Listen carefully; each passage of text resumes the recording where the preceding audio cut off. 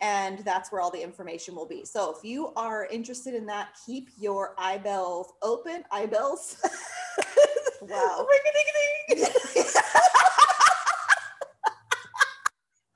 Damn it. Keep your eyebells open. Keep your eyebells open.